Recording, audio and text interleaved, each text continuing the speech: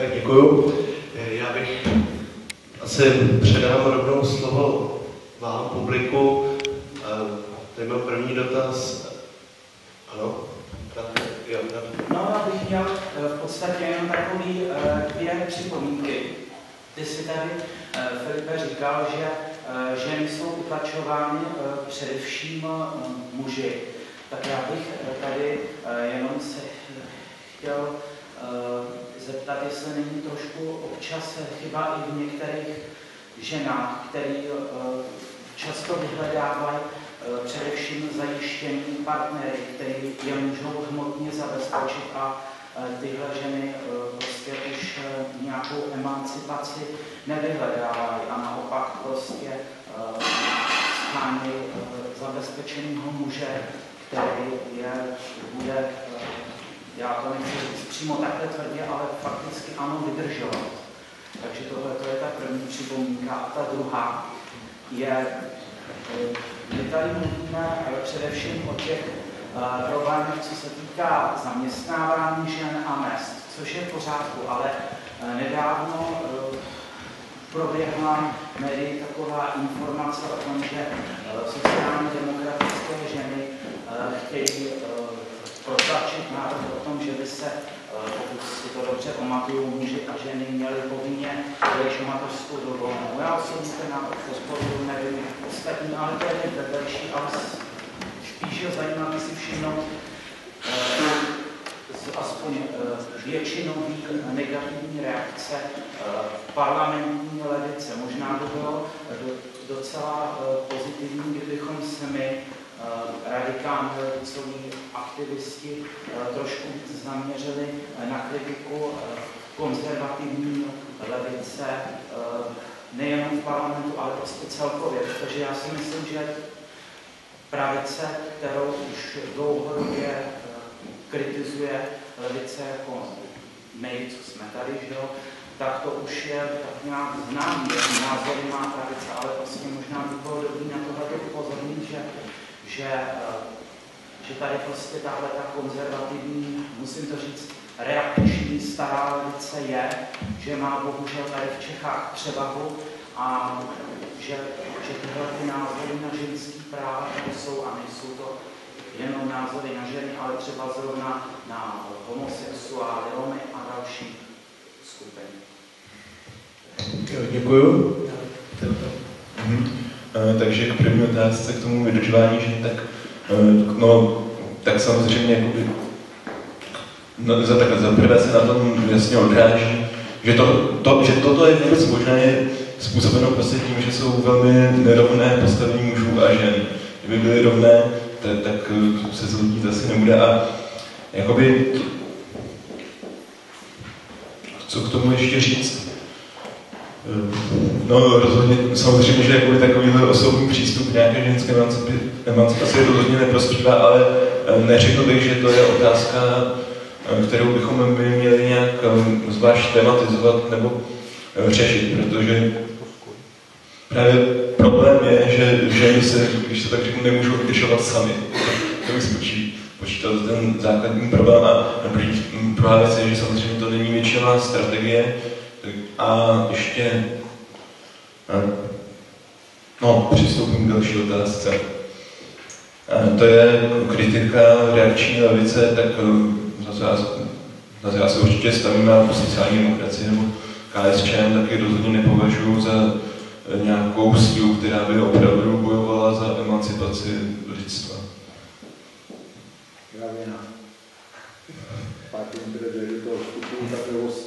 Pardon, máte příspěvek nebo? Nemám příspěvek, mám jenom námitku. Jo, tak pojď. A mohu vám uvést teda ze života eh, dva příklady, kde zcela jednoznačně ženy šikanují muže. Jo, je to eh, v oboru školství, jsem to zažil na vlastní kůži, jo. Přeopalky a podobné postavy prostě teda v rámci sestavy prostě teda ve školství, kterou, které, kterým jsem prošel, tak zcela jednoznačně odmítali levicového muže. a odmítali ho takovým způsobem, vlastně teda, že dokonce provedli vlastně teda kroky, které byly v rozporu s zákonníkem práce. A druhý případ je z místa, kde to mohou dokonce i teda sociálně rozvrstvit, co se týče pohlaví. 80% žen zneužívalo 10% mužů k tomu, aby oni odpočívali, ačkoliv teda práce fyzicky náročná tam nebyla natolik prostě teda zatěžující, že by přesahovala, přesahovala 15 kg na jedno břemeno, ale oni tvrdili prostě teda, že se pak nemohou soustředit na svou práci, ačkoliv po několika letech se naprosto jasně prokázalo, že se dokáží soustředit na svou práci, poté teda, co nějakou část pracovní doby prostě teda stráví zvedáním břemen lehčích než 15 kg. Dobře. Tak na tomhle příkladu jste chtěl jako demonstrovat, že existuje, jsou případy, kdy, ano, a, a tady ten konkrétní případ se to jako paušalizovat, jako jen obec, zobecnit, jako, že se, nebo jenom konkrétně. Jako, Všeobecnou paušalizaci si dovoluji prosazovat v rámci uh, KSČM a KSČ. Uh, uh, tu, ty dva případy zcela konkrétní, nemím prostě teda o nich tvrdit, že to je Eh, všeobecná paušalizace, ale jak zajisté celá řada starších lidí ví, tak eh, se už dlouho říká teda, že eh, ženy začínají nejenom být krkem v rodinách, ale i hlavou. Já si myslím, že nejlepší by byly hlavami oba dva, ale, ale jenom to je škaně strany, že nebo tak jakoby, to je asi která se určitě může dít, no, ono sobě, ale právě nepovažoval bych to i vlastně to jste sám jakoby řekl, že, že to není nic, co by se vůbec nedělo, co by byl ten největší problém. Problém je momentálně šikana ze strany mužů. A to uh, ještě teda s dovolím vstoupit do vztahu uh, k politickým stranám, ale levici, to znamená sociální demokracii a, a komunistů. A tam se, se, když se tam podíváte do programů, činů, stanov těch politických stran, naprosto jednoznačně prostě teda jsou tam uh, uh, právně zakotvená uh, fakta, která prostě teda tyto, tyto politické strany vede k tomu vyrovnávání stav mezi pohlavími. No, čili tvrdit to, co teda tady řekl přede mnou řečník, tak je důkaz toho, prostě teda, že nezbíral odpovídajícím způsobem podklady a nevyhodnotil odpovídajícím způsobem tyto podklady?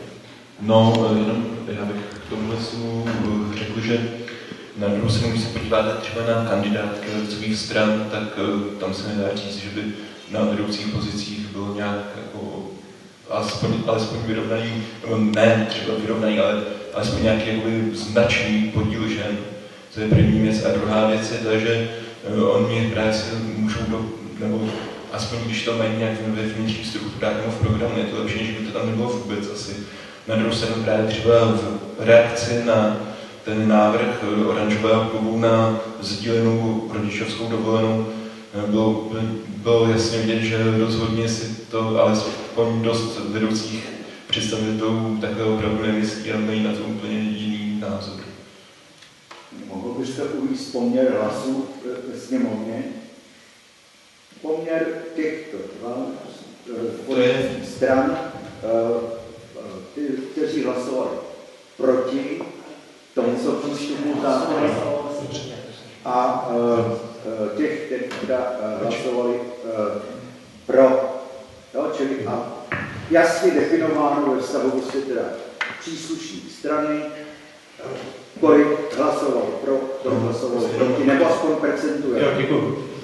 No, o tomhle jsem se ještě nehlasoval, to bylo jenom uh, reakce právě těch eh, třeba škramacha, ale prostě místo předsedů a členů představitelů. Ale jenom, když tak se k tomu ještě vrátíme, tady se uh, Radek přes časem hlásil, tak budeme takhle rotovat.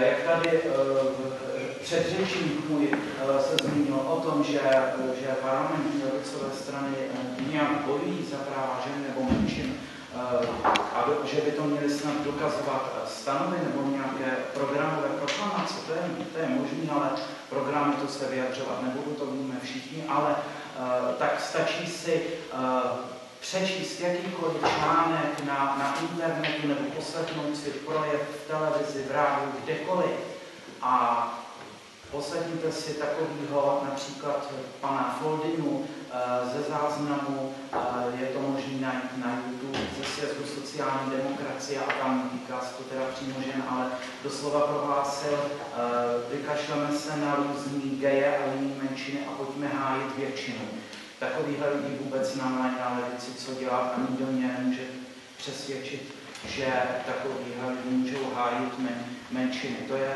první věc. A druhá věc, to už jsem zapomněl. To se omlouvám. Já bych tamhle předal slovo. Jo, to, pardon, tak tamhle vzadu. Uplatňovám tebe, Honzo. Děkuji za slovo. No. A já si myslím, že vlastně hrozně důležitý je dívat se na politickou praxi, ne na pokusili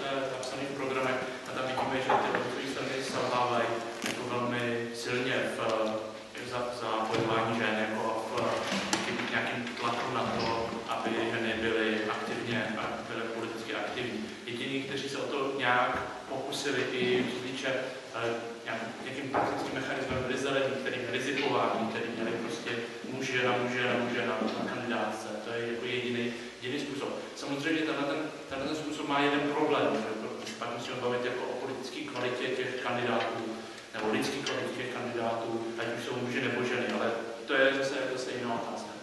No, obecně si myslím, že a, ta otázka genderu a, a, a feminismu se vždycky musí nahlížet kontextu nějakého širšího, širšího sociálního a, konfliktu, protože tady nejde o, o souboj, to určitě říkal, a, mužů a žen, jde o primárně o jako politickou linii, která se, e, která se táhne jako velkým sociálním konfliktem mezi třídami, který, který prostě v té společnosti probíhá. A feminismus a jako genderová otázka je vlastně jedna z politických identit, který se, dají, který, uh, se objevují při formulování různých zájmů. No, je to klasický příklad, je přeci to, když se říká, že černožský taxikář neutlačoval Margaret Thatcherovou, že můžu utlačovat ženu, to prostě je nesmysl.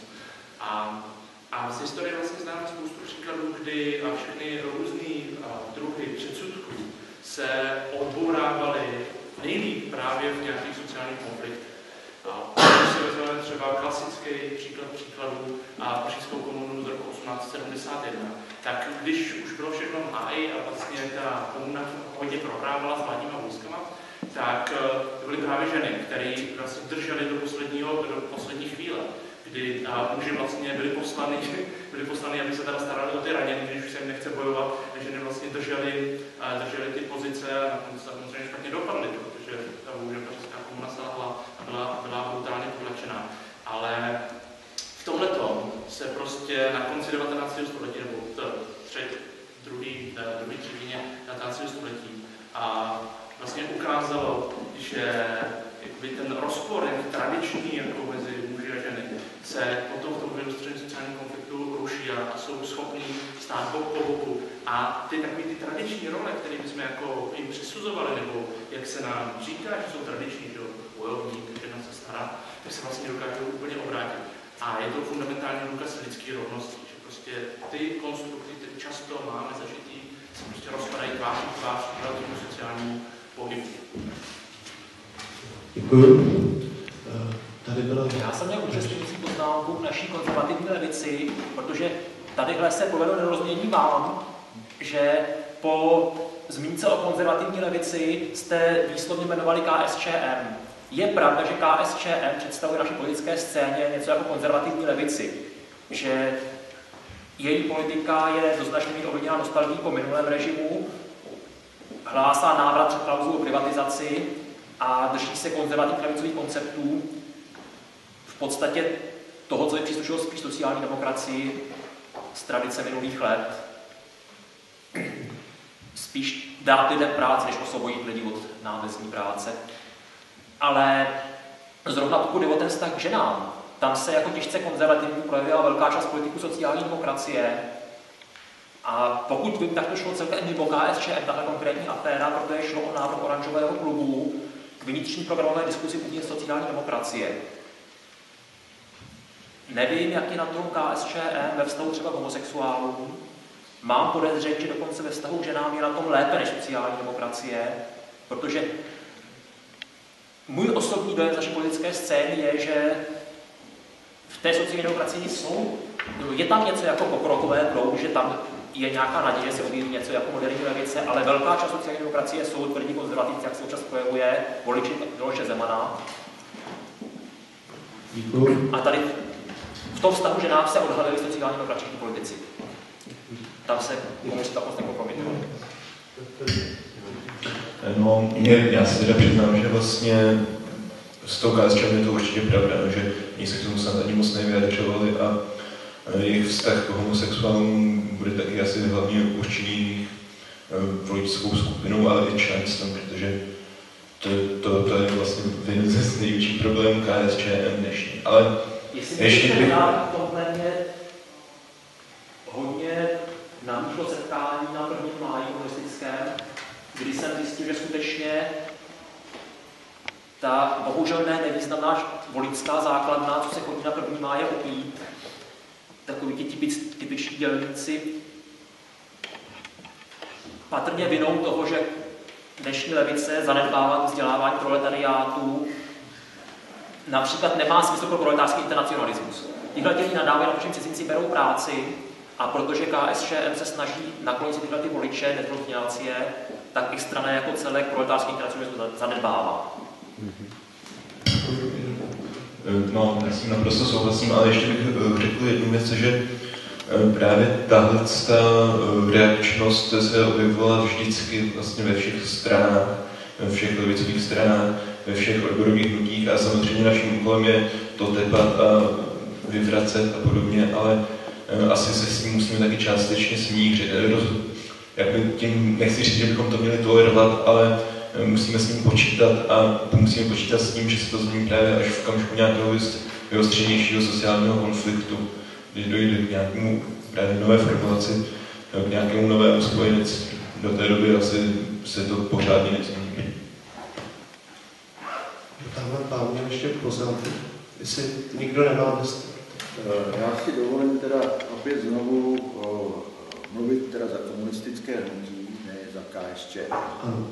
Eh, Myslím si vlastně teda, že eh, od eh, vzniku marxismu přes leninismus, stalinismus, trockismus, maoismus a tak dále, tak je možno na tisíci a jednom faktu zcela jednoznačně prokázat, že toto hnutí teda má daleko větší prostě teda vliv na uh, zrovnoprávnění vztahu mezi pohlavními, nežli uh, někteří přiklovní, kteří teda uh, v rámci toho, aby vyzdvihli sami sebe a své teda nápady, tak tuto za prvé KSČM jak radikální levici a soucí vlastně teda jít i do uh, gradované revoluce, jo, jsou ochotní jít do gradované a pomalé revoluce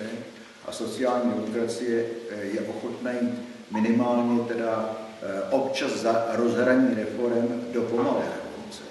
Jo, a tam uh, pochopitelně uh, ti, kteří jsou schopni na takovouto úroveň revolučnosti se dostat, to nejsou ženy.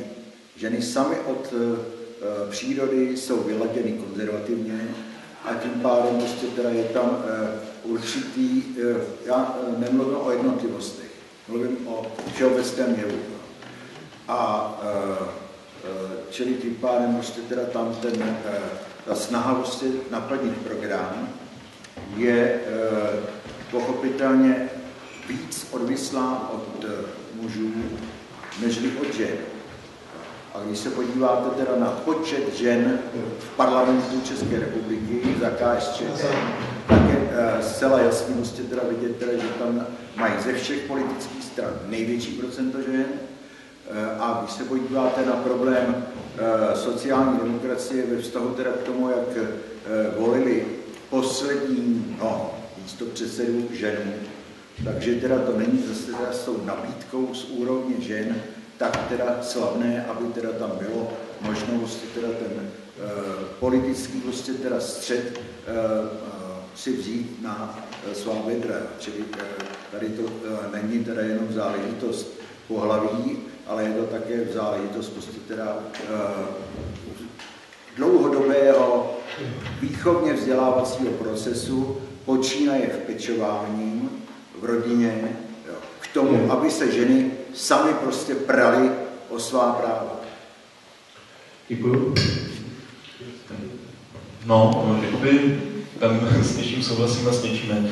Rozhodně nelze popřít, že eh, ženy se alespoň v minulosti politiky účastnily poměrně málo, a tak, ale právě jak říkáte, to je do značné míry problém socializace nebo jejich postavení. Právě například od, od zavedení té rodinné mzdy a vlastně uzavření žen do domácností se to, ten se problém samozřejmě daleko zvětšil, protože se neúčastnili žádných bojů, které by jim dávaly nějaký počet, pocit sebevědomí a byly naprosto závislé na manželovi. Ostatně eh, právě tahle jejich závislost potom i vede k tomu případnému konzervativnímu příklonu, který už teď naštěstí neplatí, protože v ten okamžik, kdy jste když je člověk takhle závislý na jedné osobě, tak je prostě jakákoliv zásadní změna systému pro ně ohrožující, protože by vlastně přišel o svůj zdroj obživy. Takže tohle to dřív asi do značné míry platilo, ale právě není to problém nějaké jakoby, biologické danosti žen,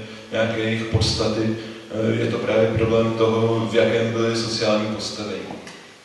A ještě k účasti žen na politice nebo v politických stranách a hlavně pak na těch vedoucích funkcích, tak to je zase problém stran, že nebo respektive problém mužů v těch stranách, že mezi sebe dostatečně nepustí, protože podle dat i míra participace žen na občanském životě je poměrně vysoká, v některých západních zemích je vyšší než u mužů, tedy v Čechách si přesně nevzpomenu, jak to je, ale rozhodně to není tak, že by se nezajímali o svět okolo sebe. Je to o to, že se zajímají, ale prostě v té politice pak nejsou. Takže tady bych právě bych řekl, že ten hlavní problém je v tom, právě, že muži mezi sebe nepustí a to je potřeba měnit právě proto například i eh, otázka kvót a podobně v politice má velký smysl. Jo, tady je otázka. Já bych se chtěl zmínit o tom, jak se tady hovořilo o eh, konzervativní nebo reakční levici, tak bych chtěl upozornit eh, taky na fenomén prostě reakčního části reakční feministického hnutí a nebo dalších hnutí, které prostě upozorňují na nějaký problém, který ale vůbec prostě neřeší proti systémově, proti kapitalisticky a vůbec neupozorňují na nějakou prostě systémovou nebo třídní podstatu toho problému. A mám obavu, že prostě tady existuje eh, vulgární feministické hnutí, které tedy eh, zastávají, eh, myslím si, že z velké části spíš muži než ženy, kteří prostě chtějí jít úplně proti přírodě, co jsou prostě věci, které jsou dány biologicky, které těžko ovlivníme, jako třeba prostě ten fakt, že malé děti musí být kojeny a nevím, co by v tom případě dělal muž na mateřské dovolené. A mám obavu, že eh, potom prostě představitele takových tendencí, jako že muži by měli chodit s dětmi na mateřskou dovolenou, budou za chvíli chtít, aby prostě muži rodili děti. To jsou věci, které prostě eh, biologicky můžeme těžko ovlivnit a změnit. A pak bych se zastavil ještě u otázky těch kvót. Eh, pokud třeba budu chtít sestavit kandidát nebo orgán, dejme tomu strany nebo hnutí združení z deseti lidí, přihlásí se mi pět žen a sto mužů, tak eh, řeknu, když dám kvotu, ať je to půl na půl, tak z těch pěti žen eh, tam samozřejmě musím prosadit 100% eh, a z těch mužů teda 5, 5 ze 100, 5%. Takže tady prostě potom samozřejmě to bude nespravedlnost nebo diskriminace opačná. Takže tohle taky musíme vzít v úvahu. Takže si myslím, že prostě některé postoje, které mohou být označovány za konzervativní nebo dokonce reakční levici, tak si myslím, že tohle Eh, tenhle termín není nebo nemusí být úplně oprávněný. Děkuju. Já se hned vyjádřím, já si jenom zapíšu všechno, co jste říkal, abych na něco nezapomněl.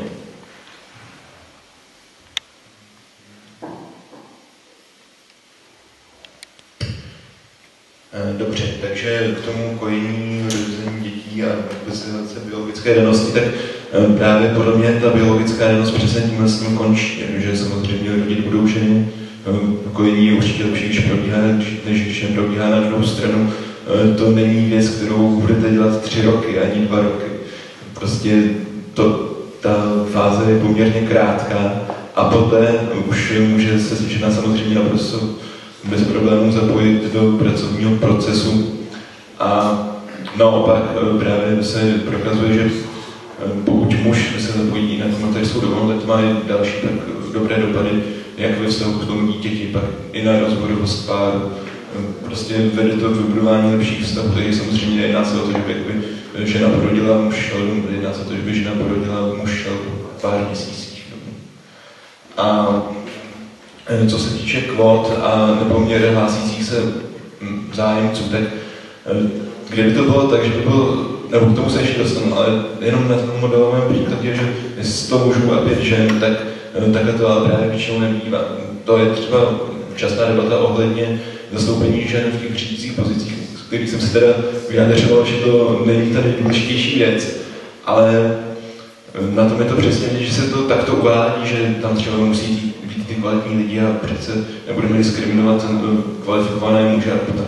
Ale prostě eh, situace je taková, že ženy vychází s vysokoškolským diplomem víc než mužů, takže ty kvalifikované ženy tady jsou a stejně tak u té hm, politiky ty ženy o, o politiku zájem mají, akorát do ní nejsou připuštění.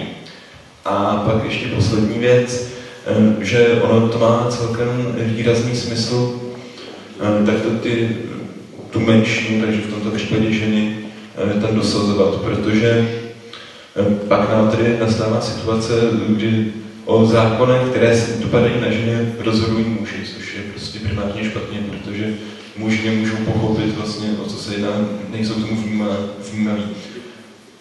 No a tím bych skončil. Jo, já předám to tam, tamhle kolega vzadu se hlásil.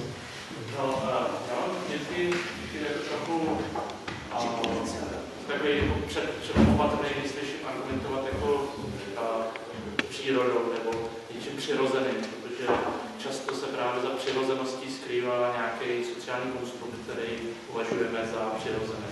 Jo, biologickou danost samozřejmě jakoby v jakýmkoliv feminismu nikdo nespochybňuje. Se dneska jako moderní genderových studií samozřejmě můžeme dočíst o jakoby, relativizaci těchto věcí, jo, tak známe jako transgenderový přístupy a takový další, ale to se tady ani neodvažuju otevřít ale si myslím, že právě v příspěvku mého předřečníka bylo trochu vidět, že jako tam je problém v té citlivosti, že muž samozřejmě nemá jít na mateřskou dovolenou, ale má jít na rodičovskou dovolenou. To je ten jako základní přístup. Jo? Muži nejdou na mateřskou dovolenou, ale na rodičovskou dovolenou. Tak a se týče kvót, tak samozřejmě, jak jsem naznačil, problematika kvót eh, je částečně diskriminační. Ale na rovině politické se vždycky mluví jako, nebo rovina politiky funguje na, eh, na, na úrovni symbolu, znamená, jaký poselství my vlastně posíláme do té veřejnosti. Jo? Prostě, když budeme mít jako na čele kandidátky Roma, tak tím posíláme prostě jasný poselství jakoby do celé společnosti. Když tam budeme mít jako 50% žen, tak to znova poselství do té společnosti. Samozřejmě je vždycky potom otázka, ale vnitřní organizace strany, jak, eh, jak se to potom vyřeší, jestli jako probíhá vzdělávání, jestli může probíhat vzdělávání, jestli má dostatek takových činů, to jsou samozřejmě ale další otázky. Ale primárně si myslím, že na rovině symbolický, což je rovina politiky, hodně, tak jako ty kvóty jsou, jsou něco, co bychom měli podporovat. Děkuju. Dobrý den, tak já se zeptám, jsme se tady o to párkrát otřeli, že jestli, nebo že jak to tedy je, že jestli existuje, jakoby, existují nějaké ženské charakteristiky a mužské charakteristiky. Je tedy ženství a mužství, nebo, nebo jak, to, jak to je, nebo jestli jsou studie k tomu jestli nevíš, jak to vypadá. No, tak na to je samozřejmě víc názorů. v rámci feministického hnutí, že například diferenční feminismus je nás vlastně postaví na tom, že ten útlak žen spočívá tak z části v tom, eh, že jim nedovoluje rozvinout svoje ženství tak, eh, jak by mělo vypadat. Eh, každopádně já jsem tomu poměrně skeptický, nebo jakoby, tohle je věc, která je natolik ovlivněná tím, jak je člověk socializován, že to nemůžeme očistit a říct, tak to je, protože jsme prostě v nějaké společnosti, která nás formuje odmala a co, jak, kdyby si to mohlo projevit, by bylo, pokud bychom žili ve společnosti, kde takovýhle tlak nebude, nebo což tedy on nějaký tlak vždycky bude, ale například, jak jsem se o tom zmiňoval, o tom třídním tlaku, tak pokud budeme žít někde ve střední společnosti, tak tam se to možná zjistí, ale do té doby bych tomu moc nevěřil. Ale vzadu kolega. Maličkost, ale myslím si, že podstatná, že oni samozřejmě můžou taky chránit muže. My si tu situaci moc ani nedovedeme možná dneska představit, ale třeba v Evropském parlamentu eh, ve frakci socialistů a demokratů nastala nedávno, nastal nedávno první případ, kdy kvóty naopak ochránili jako počet mužů v, v tom celkovém souboru. Myslím, že to je taky důležité. Děkuji za post. To je, to je pravda, ale vlastně, že pořád, mám se hlavně tam vlastně tam, tam ale nemám co dodat, no jedná se o rovnost pohlaví, ne o nadřazení nebo podřízení žen. Já mám jenom dotaz k těm kvótám, eh, tím, ty body, jako, který se týkají další, já nevím, diskriminace nebo něčeho takového. Je tam nějaký problém, který byl nevyřešený v momentě, kdy přijmete základní příjem? Protože já myslím, že základní příjem by nakonec řešil pravděpodobně všechno a nemusíte se tím zabývat. Nějak, nějak to totiž připadá blbě, jako vždycky, když někdo myslí kvóty, jo, tak, tak se prosadí se ty kvóty a pak se další několik let domýšlej, jestli se ty kvóty upraví takhle nebo takhle. Vždycky se to upraví jako v neprospěch někoho. Jo, ty kvóty jsou vždycky takový začátek, to prosadíme kvóty třeba na vysokoškolský učitele nebo něco takového a pak je budeme upravovat. Jo, takže to je jedna z takových věcí, která by mě zajímala, co z toho teda neřeší základní příjem. Druhá věc je, co se týče Ameriky, tak já mám pocit, že tam byly nějaké statistiky už hodně dávno, že v těch managementech je asi 60% žen. Jo. Ale to, co je na tom ten vtip, je, že oni jsou v těch nízkých pozicích v tom managementu. Jo, a to je jako, moje pozorování, teda takový, který si vám nebude líbit. Protože ty ženský většinou, speciálně když vystudují ekonomii, tak oni nevidějí většinou skrz matiku. Takže oni jsou potom takový jako žoldáci, kteří opakují opravdu to, co se tam naučili a nejsou moc flexibilní jako v tom. Jo, většinou jsou takový opravdu přímočarí. A to je výhodný, jako, jo, když, když jste opravdu CEO nebo někdo v tom, v tom vyšším managementu, tak je výhodný mít tam takovýhle lidi pod sebou, protože čo, to je ideální. Děkuji. Jo, tak eh, nejdřív k základnímu příjmu.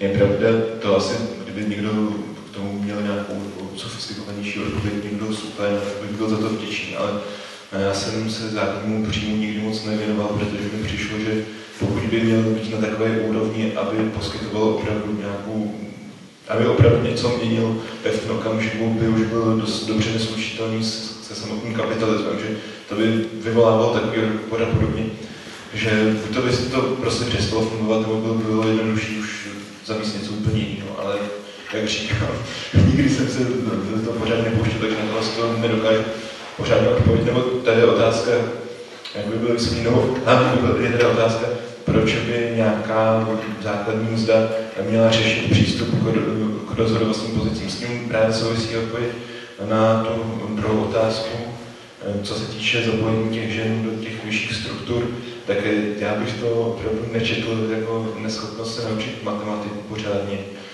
Já bych to četl jako problém skleněného stropu, což se právě, čím na čem to chci ale velmi dobře doložit, je eh, situace v akademické sféře, kdy se to už řeší dlouhodobě, že prostě ty ženy, ačkoliv to jsou jednoznačné odborníci, tam asi opravdu jako nejde uvažovat o tom, že by té látce nerozuměli, tak se prostě nedostávají do řídících pozic, protože prostě ta struktura je tam, nech, nebo tím, tím už je tam nechtějí pustit.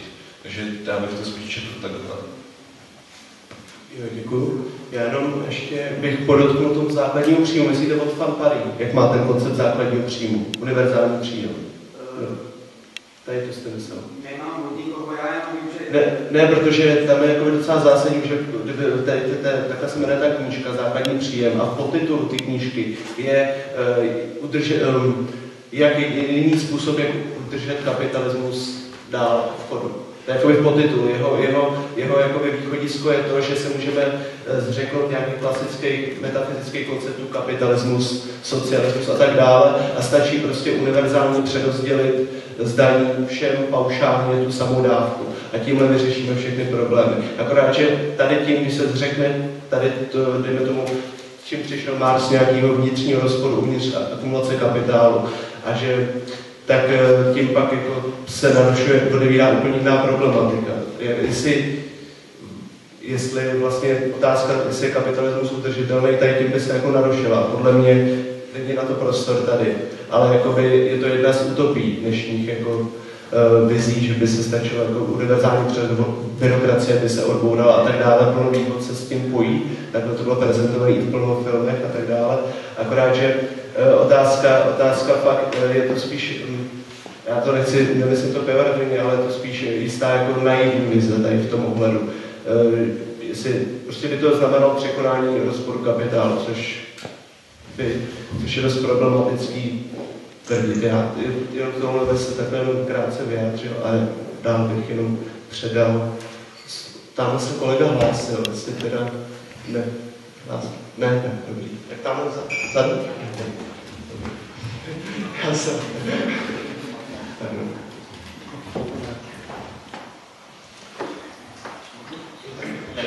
Nevím, případná poznámka, ale jednak samozřejmě všeobecný nepodmíněný základní příjem řeší nějaké sociální problémy, ale neřeší přístup nějakému rozhodování. Takže pokud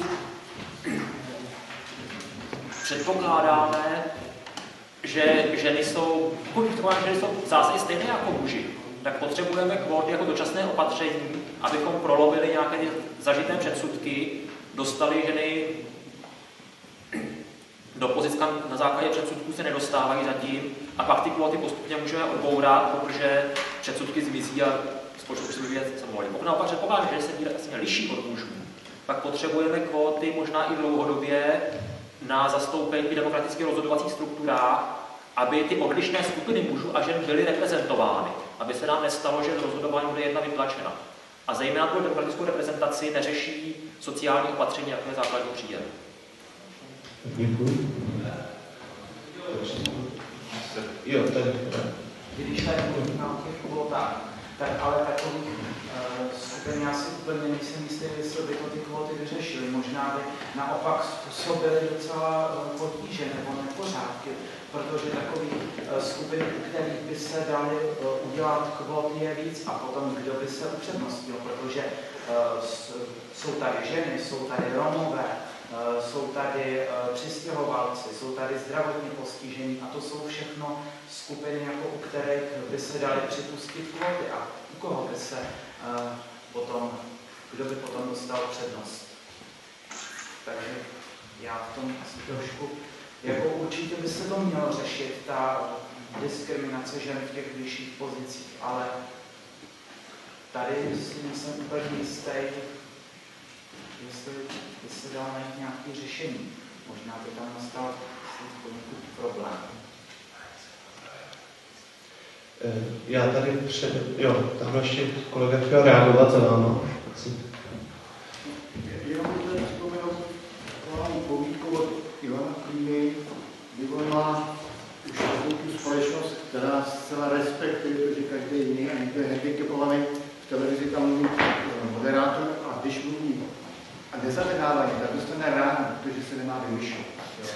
Takže v organizacích se vybírá podle kvalit za první a za druhý, když bychom měli sociologii organizací, tak se tam vytváří mocenský kroky, jsou to mocenské struktury. Ty, ty ženy se často v těch mocenských strukturách neumí třeba pohybovat, ale to není že neumějí, ale prostě už ty pozice jsou obsazené. můžete to v Čechách analyzovat na, na institucích, které jsou učitelní a přehlední, jako jsou akademické instituce, jako jsou vysoké školy. Vysoko, medicínu vystuduje v Čechách, Československu víc asi 56% jsou ženy. Těch žen na těch vyšších, vyšších pozicích je málo, vynecháme-li paní doktorku tak jmenuje. Jinak ty ženy to ale pokud se pohybujete v tom světě, tak zjistíte, že těch žen, který vykazují veliký kvalitní výkon, je stejný, stejný procento jako těch mužů. Pokud jde o tu matematiku, tak to je předsudečný si myslet, že ženy mají nějakou jinou část mozku, absurdní. Eh, mohli bychom vyjmenovat 100 žen, asi vzpomenu na 10, který v matematice něco znamenají. Vynecháme tu Marii Curie, tak je žena, která vymyslela kobol a tak dále, tak dále, bychom mohli těch je strašně moc. Takže to je nějaký předsudečný. Ale chci říct, že spíše než zabývat se kvotami, bychom měli dělat mocenský struktury těch organizací. Té Americe, tam je nejlepší neuroložka, ty chlapí stejně vyštípou.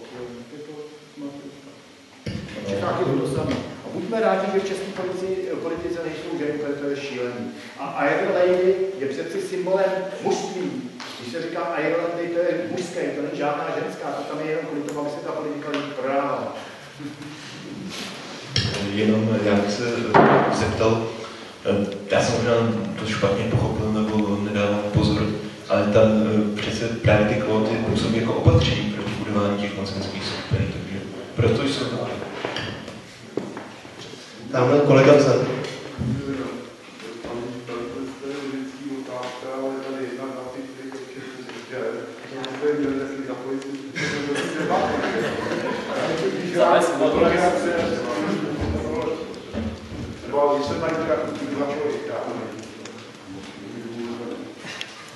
Tak jenom původně, původně to měl moderovat za mě nikdo jiný, měla to být žena, takže to se omlouvám, že to Hlavně tady měla vystupovat nějaká žena. Ne, tak samozřejmě. Je to právě ten problém že tady ta žena. Má někdo? Když uděláme ty kvóty. Dobře, tak uh, tamhle kolega to.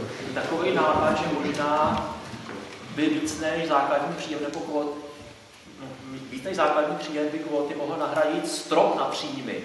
To mě tak napadlo přinést něco akademických institucí, protože já pracuji v Ústavu Akademie věd, máme ředitelku. Proč máme ředitelku? Prostě není žádný problém, protože jsme chudý Ústav Akademie věd a u nás prostě nikdo žádný velký prachy nevydělá. Je sociologicky perfektně zdokumentováno, že každá profese, ve které klesnou platy, se velice rychle feminizuje. Takhle se třeba feminizovalo školství.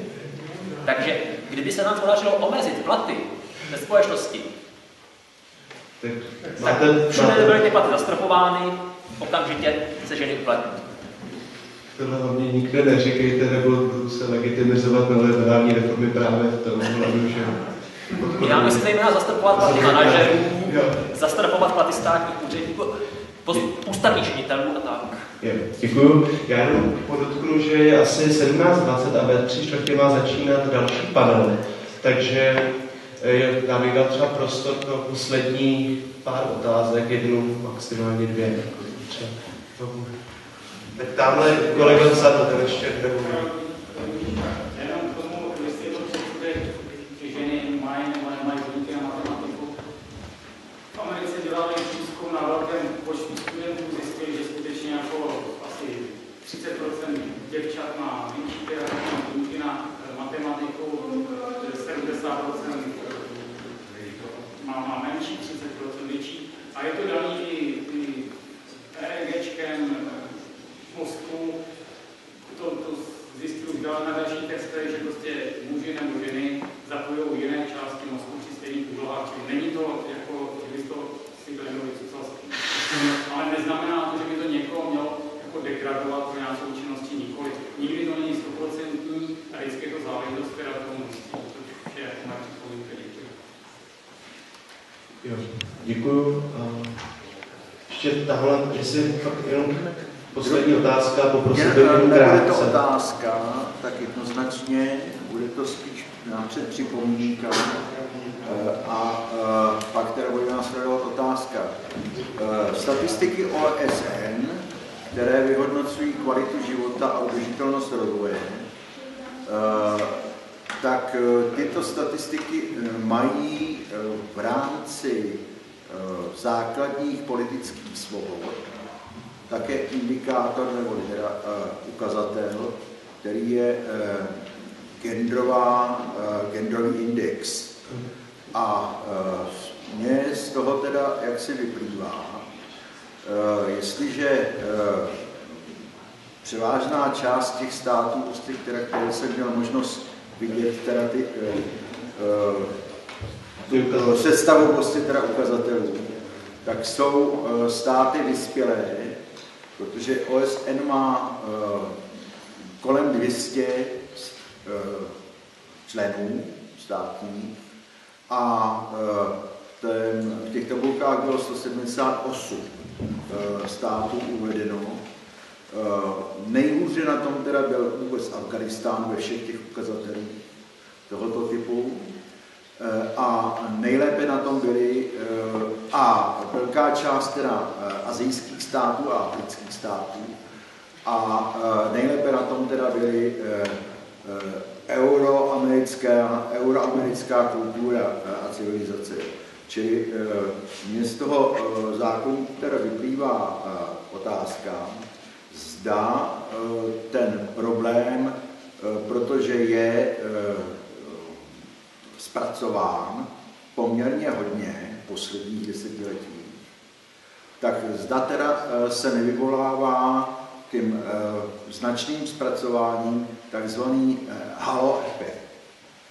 Jo, protože se teďka doplním tuto otázku, protože v zákonník třídní vztahy je potřeba různými způsoby co? Druhá otázka. Děkuji. Na to No, právě jako rozhodně asi nemá smysl popírat, že se ta situace v Evropě během posledních desítek let jako zásadně zlepšila proti tomu, jak to bylo dřív. To je bez pravda. Ale na druhou stranu je spousta problémů nevyřešených. Jednak je to právě ten nerovný přístup k vedoucích funkcí, pak je to ale právě to, co se týká většiny obyvatelstva, že je to nerovné rozdělení té práce, ale je to hlavně to, že ta prá- domácí práce je to je to vůbec ten fakt, jak jsou ženy pojímány, také co tedy vzniklo vlastně v posledních letech, je zase nová vlna v sexismu, který byl už do značné míry se odbourán, tak to je mimochodem velmi zajímavé téma, jak, jakým způsobem sformulovala pornografie vnímání sexuality u tak zhruba 15-letých dětí. To, co se děje v Británii na těch různých školách, tak to je něco vlastně těžko uvěřit a tam jsou opravdu situace, kdy ženy, tedy dívky, chodí na záchodky, právě kde provozují orální sex chlapci a vybírají za to peníze. Vlastně je to jakoby pojímáno jako zábava. Pak se samozřejmě ty některé dívky za sebe zavíjí z toho. Je, je to velmi zajímavé téma, na který tady, tady není prostor.